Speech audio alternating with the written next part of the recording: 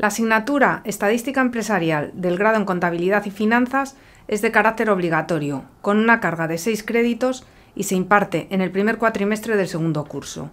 En esta breve presentación se explica la información más relevante para el desarrollo de la asignatura, en concreto los contenidos, metodología docente y evaluación de la misma.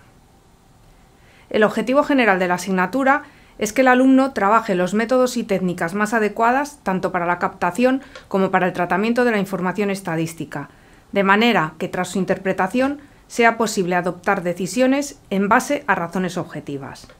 Por ello, se inicia al alumno en los principios y métodos del conocimiento estadístico, referidos a los procesos descriptivos e inferenciales, con el fin último de poder extraer conclusiones sobre una población en base al estudio de una muestra. El trabajador en ciencias sociales se encuentra inmerso en una realidad en continuo cambio, donde ciertas respuestas pertenecientes al pasado se entremezclan con posturas futuras, siendo imposible establecer normas fijas de comportamiento que regulen sus relaciones. Si además tenemos en cuenta que en las ciencias sociales las evidencias empíricas no pueden ser obtenidas y repetidas en ningún laboratorio, controlando las condiciones de partida, llegamos a que la utilización de los métodos estadísticos es imprescindible. Los conocimientos previos que se requieren para afrontar la asignatura son las matemáticas básicas que se estudian en los cursos de acceso a la universidad. La asignatura se estructura en 10 temas agrupados en 5 grandes módulos. El primer módulo es introductorio y en él se presentan los fundamentos de la estadística y las principales técnicas de recogida de datos para un análisis posterior de los mismos. Los tres siguientes módulos recogen contenidos de estadística descriptiva, tanto análisis descriptivo de una y dos variables como análisis comparativo de varias variables. El último módulo es una introducción a la probabilidad con nociones de inferencia estadística como objetivo fundamental de la estadística, el conocimiento de una población a través de una muestra de la misma.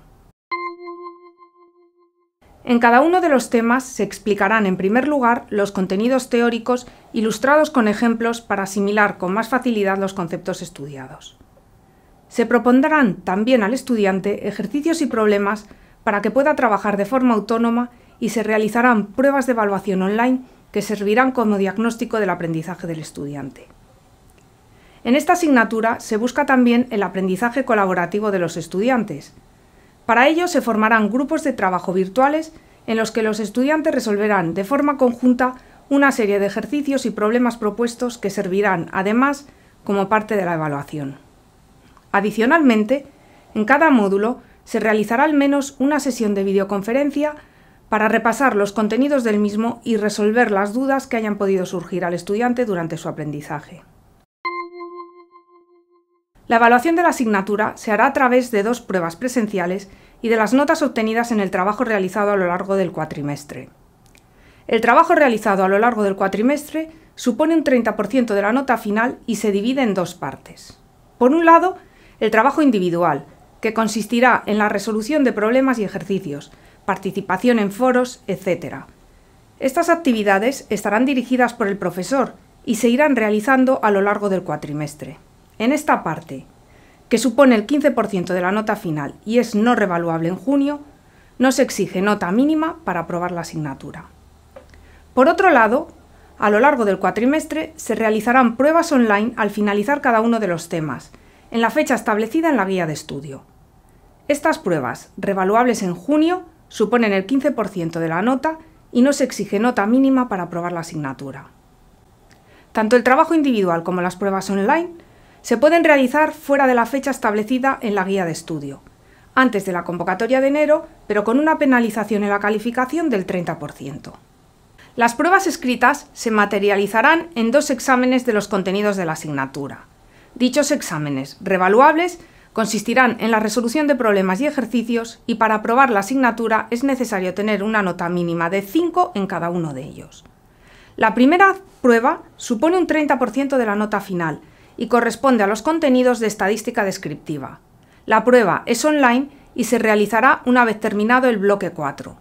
Si el estudiante no se presenta en la fecha establecida, podrá realizar la prueba en la convocatoria oficial. La segunda supone un 40% de la nota final y abarca los contenidos de probabilidad e inferencia. La prueba es presencial y se realizará en la convocatoria oficial. Toda esta información y con más detalle está en la guía docente y en la presentación de la asignatura en el aula virtual. Para cualquier duda que tengáis, no dudéis en contactar conmigo. Os reitero la bienvenida y espero que la asignatura os resulte interesante.